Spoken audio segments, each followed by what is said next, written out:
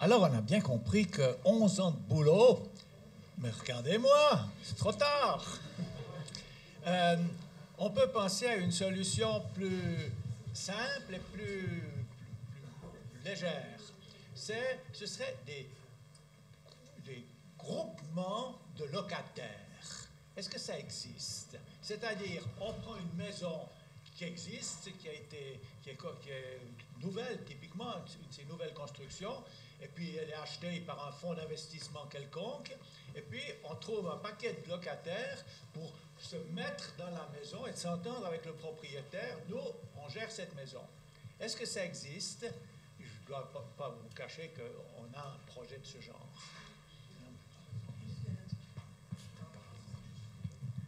Là où vous avez entièrement raison, c'est que je pense que la, difficulté de notre projet, c'est d'être intégré dans un immense écoquartier de la ville qui rend la chose ultra complexe, beaucoup plus que si on était nous sur un terrain. Et je pense que quand on est nous sur un terrain avec des amis, ça va beaucoup plus vite, probablement euh, à la vitesse à laquelle on est capable de monter un projet et, payer euh, les fonds propres. Simplement, je pense qu'il ne faut pas négliger une chose, mais je laisserai euh, mes collègues ben, étayer peut-être si vous voulez euh, pousser ce vivre ensemble, cet habitat participatif où on connaît son voisin, où on s'entraide et on a des, espaces mutualisés, j'ai oublié de le dire, mais c'est vraiment une des pierres d'achoppement de notre projet, ça demande du temps pour juste construire une vision commune. Parce qu'on part tous d'un individualisme. Et puis euh, c'est ça en fait qui prend du temps. Mais après, ça peut aller beaucoup plus vite que les huit ans qu'on a passés, hein, c'est clair. Enfin, je pense je pense aussi que la, en fait, la construction de ces bâtiments qu'on imagine ensemble et qu'on conçoit ensemble, bah, finalement, ça crée aussi les liens qui nous permettent après de, vivre euh, bien ensemble. Et je pense que ce serait dommage de louper cette étape. Par rapport à votre question, j'ai un complément d'information, c'est qu'il existe des beaux associatifs en tout cas, ça existe à Genève, à la rue Lissignol notamment. Et c'est beaucoup euh, des choses qui sont issues, qui sont euh, des, petites victoires du mouvement des squatteurs qui étaient euh, assez forts, du mouvement squat à Genève. Et il y a eu pas mal d'immeubles qui sont encore gérés de cette façon-là. Donc oui, ça existe. moi, j'avais une question par rapport à la participation. Donc vous avez beaucoup parlé dans les phases de planification, de projet, tout ça. Est-ce que vous avez eu des expériences où les gens ont été amenés à participer à l'exécution même du chantier, donc de mettre vraiment la main à la pâte pour faire les travaux alors euh, oui, je peux parler d'un des bâtiments d'équilibre, qui est le bâtiment qui est rue Soubéran, donc qui est le deuxième bâtiment.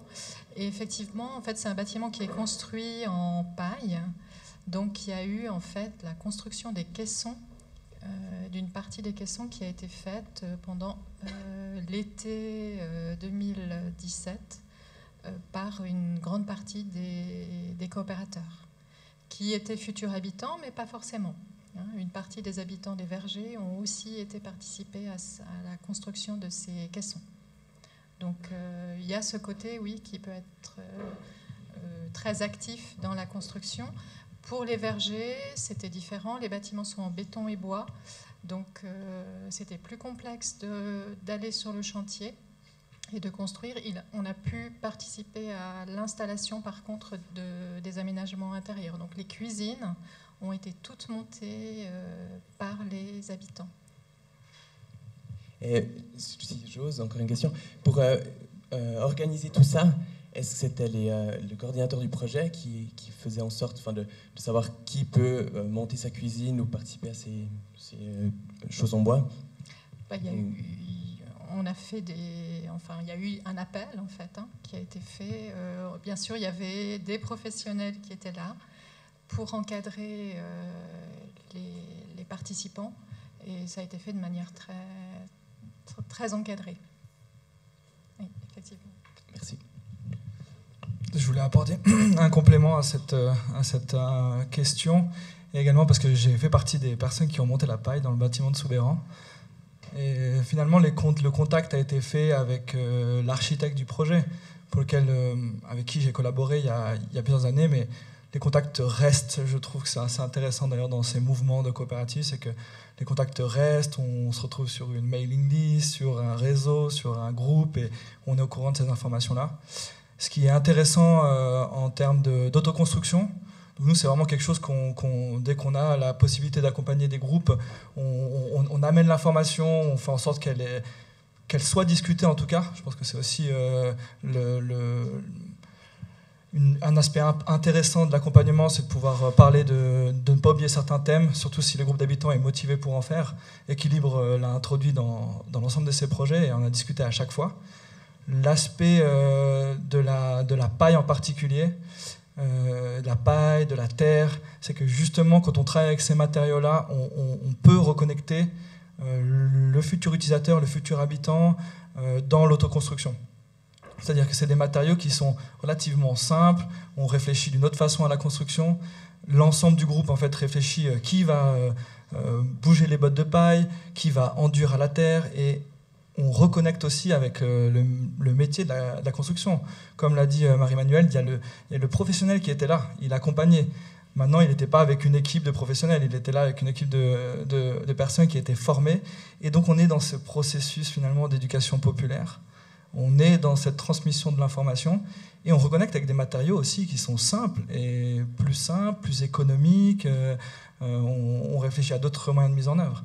Dans les projets de coopération internationale sur lesquels on a l'occasion de, travailler avec nos partenaires locaux, particulièrement je pense au, Nicaragua, la terre est un matériau qui revient en, euh, plein centre des discussions, parce que c'est vraiment un matériau qui est disponible localement, euh, avec une mise en œuvre qui est possible à faire, avec un appui de professionnels qui est possible à faire avec les groupes de futurs habitants.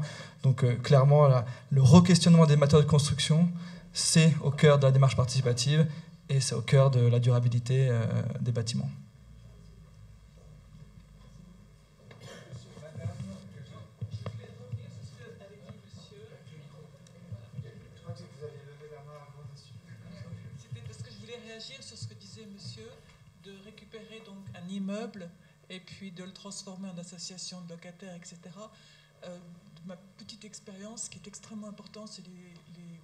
lieux communs, les lieux partagés. Et si vous récupérez des appartements qui ne se prêtent pas à des lieux communs, ben vous n'allez pas pouvoir créer l'atmosphère euh, et puis les, travaux euh, dont vous parlez, etc., qui font énormément partie de, oui, de l'esprit qui va faire réussir le projet. Voilà, c'est tout ce que je voulais dire. Il faut que vous trouviez un, une série d'appartements où on peut créer des espaces communs. Alors c'est bien, là vous allez réussir. Euh, je voudrais savoir euh, si dans le cadre de l'économie circulaire, euh, vous allez mettre en avant un peu les monnaies locales, ce qui serait certainement une bonne chose pour faire qu'il y ait du travail local. Et puis après, une deuxième question aussi concernant les matériaux. Bon, j'ai bonheur d'entendre que vous allez utiliser de la paille, et éventuellement du chanvre, des matériaux tels que ceux-ci. Mais est-ce que vous avez pensé aussi à utiliser, euh, à présent, on recycle beaucoup de matériaux, entre autres du bois, euh, lors de démolition d'immeubles. Et il y a des sociétés qui se sont mises en place euh, pour valoriser ces matériaux. Est-ce que vous y avez pensé? Merci.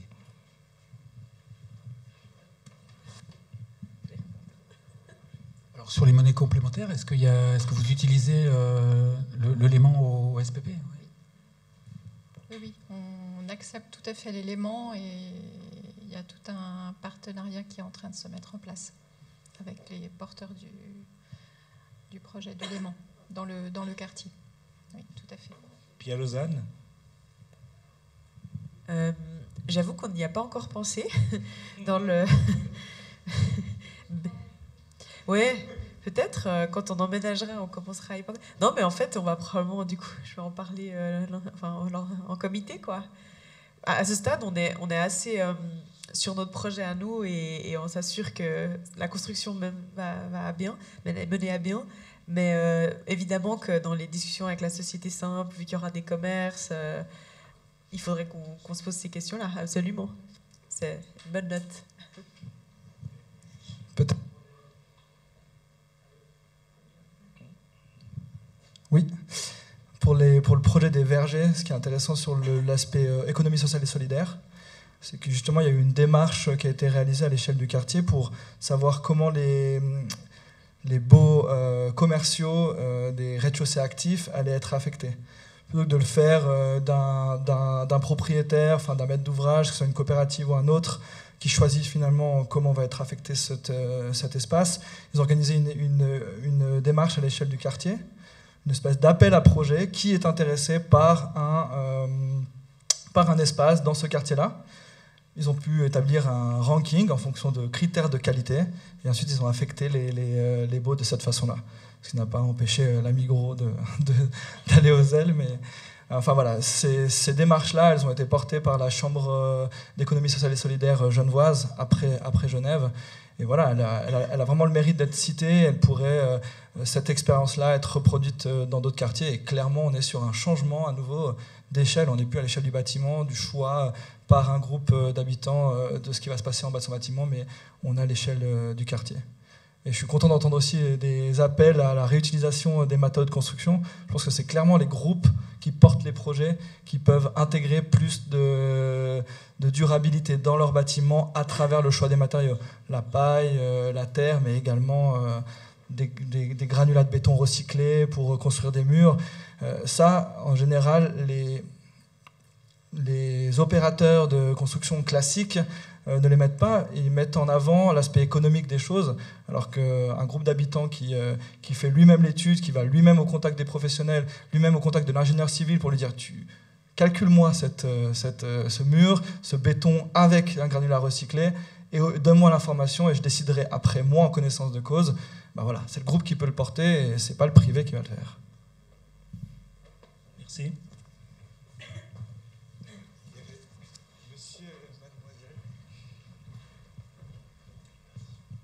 Bonjour, bravo pour euh, votre engagement. Charles Bon, urbaniste, euh, j'aurais aimé en savoir un peu plus sur la dimension énergétique de vos projets, si euh, vous organisez en groupement d'autoconsommateurs, comment se passe avec les autorités, comment ça se passe au niveau de l'approvisionnement, votre influence, l'impact que vous avez en, termes énergétiques des bâtiments et des, quartiers sur lesquels vous travaillez. Merci commencer par répondre avec les, connaissances que j'ai, qui sont probablement pas complètes. Elles seraient plus complètes si c'était notre architecte qui vous parlait. Ce que je sais, c'est que hum, pour pouvoir recevoir euh, certains subventionnements et euh, de par notre euh, engagement par rapport à la ville, c'est pourquoi ils nous ont attribué l'appel, enfin le, le, lot lors de l'appel d'offres, c'était en respectant le cahier des charges Minergie P Eco. Donc ça, c'est une, première des choses. Ensuite, euh, au sein des, des discussions qu'on a eues euh, dans les groupes de construction, on a désiré aller sur euh, un approvisionnement énergétique le plus renouvelable possible. Et euh, c'est ce qu'on a mis dans le cahier des charges à notre architecte. Donc on découvrira même lundi prochain comment ça a pu être respecté, avec les contraintes qui étaient ce fameux concept d'ensemble d'urbanistes et architectes qui nous ont mis certaines conditions euh, euh, par rapport à, la possibilité de s'approvisionner en renouvelable euh, de la manière absolument libre qu'on voulait. Donc on a certaines contraintes. Je me souviens plus exactement lesquelles elles sont. Je ne sais pas si mes collègues s'en souviennent. Non, je dirais que non. Donc pour plus de détails, discussion avec notre architecte ou écrivez-nous un mail. voilà. Alors moi j'aurais peut-être un petit peu plus de mal à vous répondre en détail. Euh, ce que je peux vous dire, en tout cas, c'est que, en fin de compte, dans Équilibre, il y a eu des personnes qui ont créé une coopérative indépendante euh, autour de l'énergie qu'on appelle Enerco et qui va en fait gérer euh, tout ce qu'on va dépenser euh, dans nos bâtiments en lien avec euh, les SIG. Donc il y a tout un projet effectivement pour, être très très très très au fait de ce qu'on va consommer. Essayer d'optimiser au maximum tout ce qui tourne autour de notre consommation.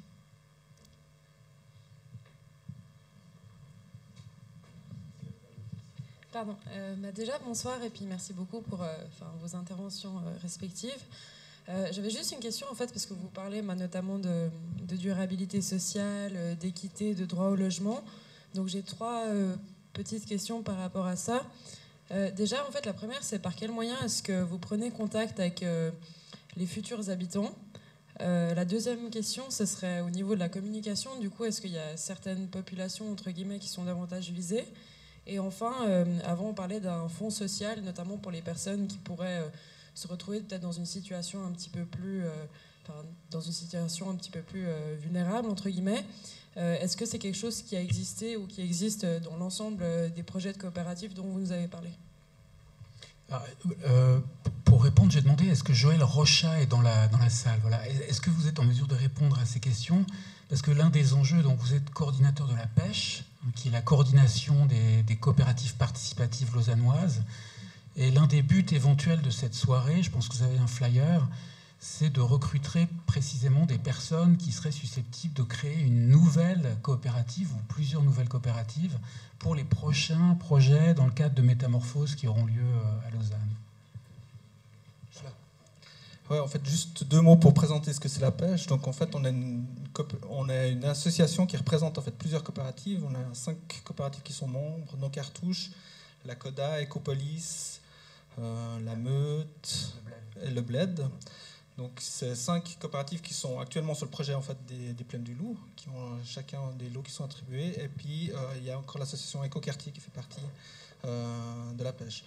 Cette euh, association a été euh, fondée il y a déjà quelques années en arrière, justement euh, dans le but en fait de pouvoir créer des coopératives d'habitants pour les plaines du Loup et pour Métamorphose.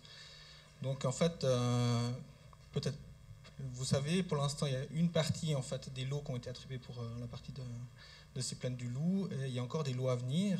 Et c'est clair qu'en fait, l'habitat coopératif, pour pouvoir aussi le promouvoir, pour pouvoir aussi euh, continuer en fait à pouvoir le, promouvoir, ben, il faut qu'on ait aussi des coopératives qui se développent, des gens qui viennent et puis qui puissent aussi avoir cette envie de développer euh, des projets euh, au sein de la ville de Lausanne.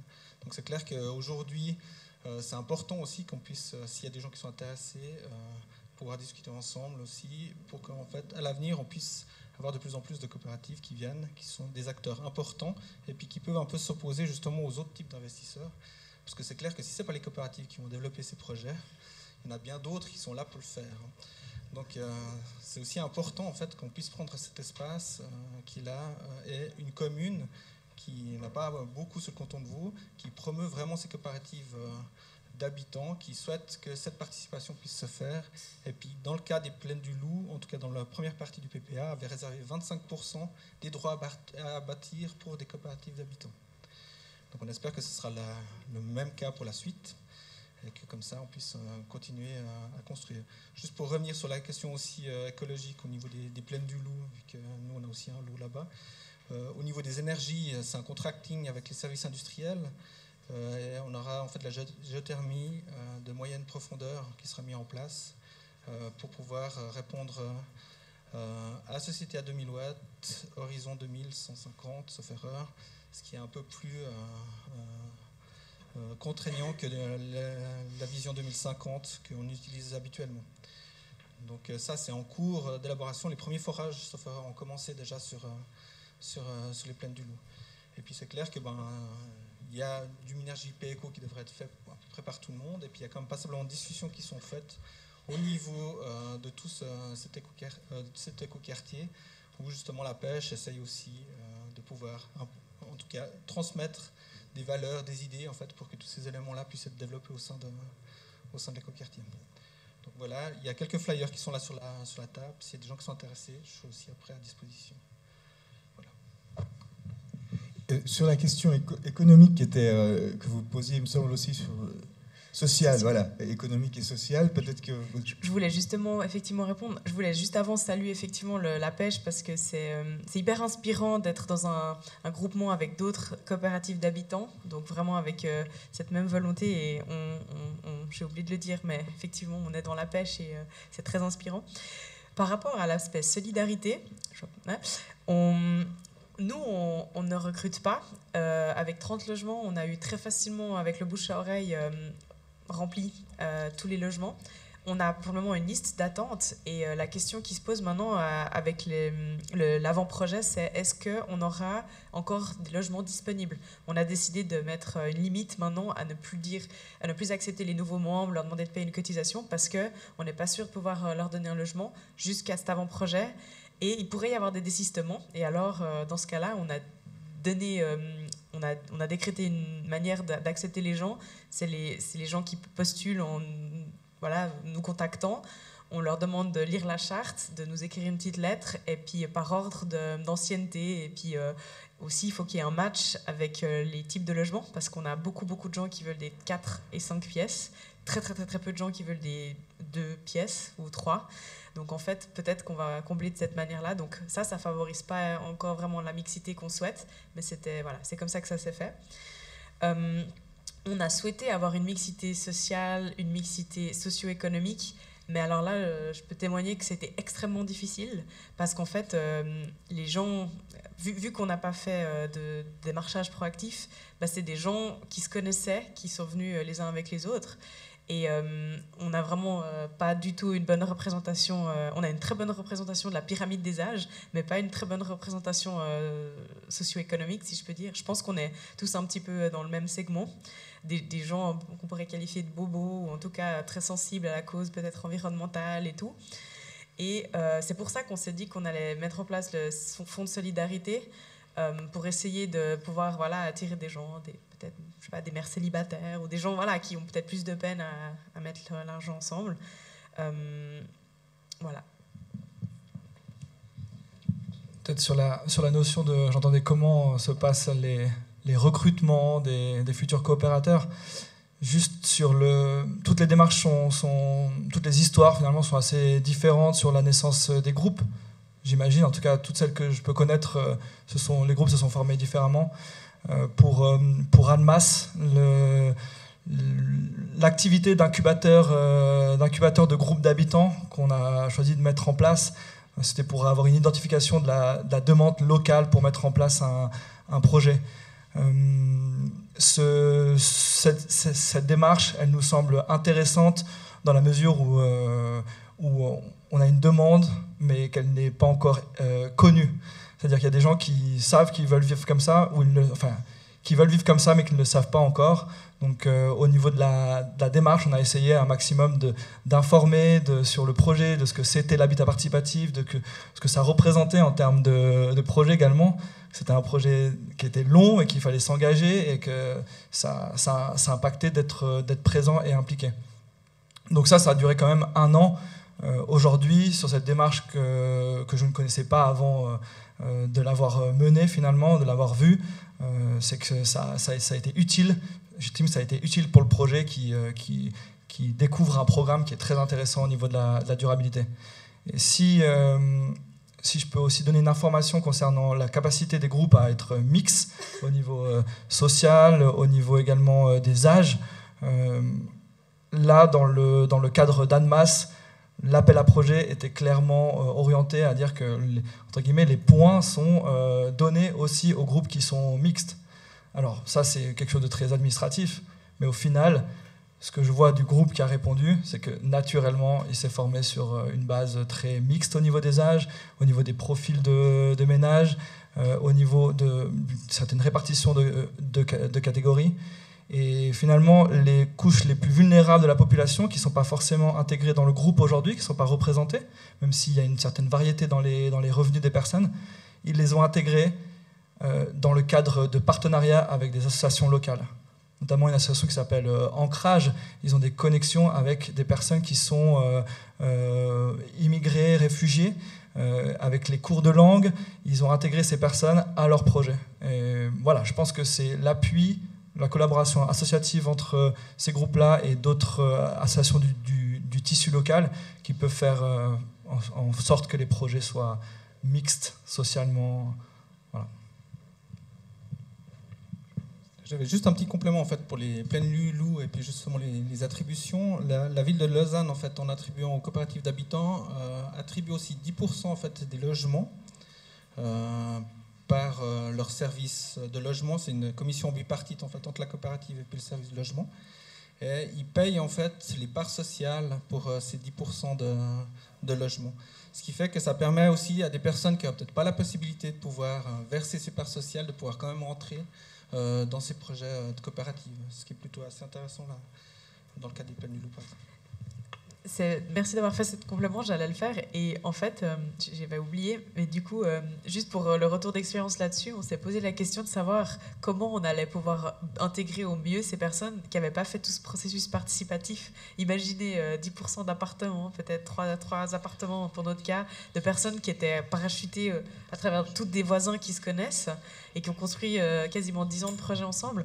Et en fait, on a eu beaucoup de discussions avec la ville à ce sujet en leur disant, mais en fait, ces gens, il faut qu'ils adhèrent à notre charte, parce que sinon, euh, même eux vont se sentir pas forcément. Euh, enfin, il faut être inclusif, bien sûr, mais euh, voilà. Et du coup, en fait, la ville nous a rassuré qu'elle allait en fait distribuer les un appel, enfin, un, un, cahier de, enfin, comment dire, un, fascicule pour faire savoir qu'on avait des appartements disponibles, mais ensuite c'est nous qui les choisissions, qui les choisisserions, et sur la base de l'adhésion à la charte et quand même il y aurait un temps. Mais ça nous semblait quand même important, même si c'est important effectivement que la ville euh, qui voulait pas faire des quartiers justement de bobos, c'était ça un peu politiquement qui était prévu, euh, fasse ces 10%. Mais il y a toujours ce côté, euh, et comment est-ce que les gens adhèrent je, je, me permets de prendre vite le micro, peut-être juste pour donner un petit cadre un peu plus large aussi à cette formidable ensemble d'expériences participatives qui ont lieu. On trouve Équilibre, on trouve la CODA, on trouve Meralswohnen en Suisse. Moi, je m'occupe de la revue Habitation. C'est une des plateformes où vous pouvez retrouver toutes ces histoires, CODA, Meralswohnen, euh, il y a du participatif, il y a aussi du plus classique aussi. C'est une revue qui a 90 ans déjà, et puis ça fait 90 ans que la revue Habitation promeut le logement d'utilité publique. Il y a déjà eu des phases plus ou moins participatives. Euh, je vous invite, j'en ai amené quelques-unes. Moi, je ne les ai pas perdues dans le train comme mon ami Jacques, euh, mais j'en avais moins, donc c'était plus facile de les amener. Elles, ont, elles sont parties tout de suite, mais il n'y a pas seulement la revue Habitation, habitation.ch, il y a un ensemble de plateformes. Il y a aussi l'Association romande des maîtres d'ouvrage d'utilité publique. Ça se résume en l'ARMOUP, ils ont un site aussi. On a un site entièrement dédié à une démarche depuis A à Z, comment fonder sa coopérative, avec tous les trucs qu'il faut faire, combien il faut être, où on a des subventions, on a des liens. Donc je vous, je vous invite à aller voir cet ensemble de plateformes du logement d'utilité publique dont Habitation fait partie. On a aussi un quatrième site, ça fait les quatre sites qui font les plateformes du logement d'utilité publique, où on a toutes les archives, la revue Habitation jusqu'en 1928. Et puis, si vous, allez un peu là-dessus, vous voyez que certains problèmes qu'on discute maintenant étaient déjà discutés il y a 80 ans en arrière ça, se renouvelle, c'est pas exactement la même chose, mais les mêmes questions reviennent toujours, les mêmes problèmes reviennent toujours. En ce moment, par contre, ce que je salue, et je suis ravi d'avoir été là, euh, et je salue les, initiatives de la revue Durable, qui, non seulement publie des dossiers intéressants, mais anime aussi des conférences. Euh, je, pense que ça vaut la peine d'aller voir, et puis, et puis justement de se dire, il y a des coopératives qui sont peut-être plus traditionnelles et puis qui sont un peu endormies. Il y a des nouvelles qui sont très participatives. L'important, ce serait qu'en Suisse romande, les deux puissent se rencontrer, parce que ce n'est pas encore vraiment le cas. Ça s'est passé à Zurich, on a cité le, projet Meralswohnen, et là, justement, ils se sont, rendus compte qu'en se lançant dans un projet très ambitieux, une bonne cinquantaine de coopératives, des vieilles traditionnelles et des jeunes totalement euh, innovatives, se sont rendus compte qu'elles bah, peuvent travailler ensemble et apprendre ensemble. Ça, ça serait bien que ça se passe en Suisse romande aussi. Peut-être juste pour, pour réagir à ça, parce que c'est exactement ce qui est en train de se passer sur le, canton de Genève. L'appel pour cette dizaine de terrains actuellement euh, disponibles qui ont été remis en, en, droit, de, droit à bâtir à des coopératives, c'est des consortiums de coopératives et le but a été de justement lier des coopératives euh, centenaires parfois à des coopératives qu'on appelle primo-coopératives qui n'ont jamais construit pour relancer cette fraîcheur participative. Donc euh, ce que vous soulignez, on le voit actuellement à Genève, on espère que ça donnera les résultats escomptés. Alors, moi, vu l'heure, j'invite peut-être, je ne sais pas s'il y a d'autres questions, interventions, mais en tout cas, il y a un apéro qui vous attend. Il y a déjà plusieurs personnes qui sont parties, qui ont dû partir et, qui ont raté l'apéro, ce qui est fort dommage. voilà. Mais quand même, premièrement, je, tiens quand même à, vous, à remercier toutes les personnes qui ont été présentes ce soir, parce que c'est rare qu'on ait une salle pleine et aussi euh, insistante, avec autant de questions et d'interventions, et, remercier vraiment alors tous nos intervenantes et intervenants parce qu'on a eu une soirée sans diapo et qui était euh, peut-être bien plus riche euh, que, que lorsqu'on a des présentations avec beaucoup de diagrammes. Donc vraiment, merci beaucoup pour, euh, pour vos interventions. Et je ne sais pas si vous souhaitez encore donner un, mot de la fin.